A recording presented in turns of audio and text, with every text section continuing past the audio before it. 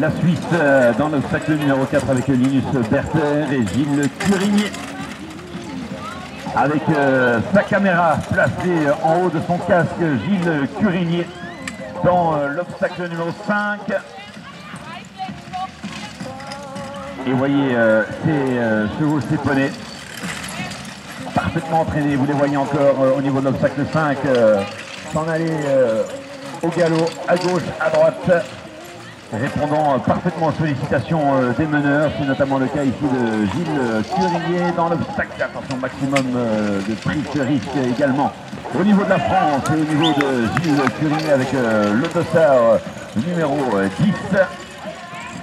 Huitième du classement.